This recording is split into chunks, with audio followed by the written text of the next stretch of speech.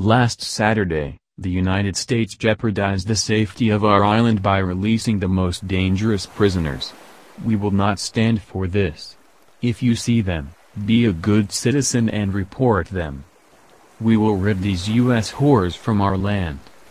These foreign aid workers were executed as payment for our lost brothers and sisters that protect our island. Your new Saint K politicians have spilled blood to free our island from the shackles of foreign influence. Stay vigilant. Resist. Say no to U.S. propaganda.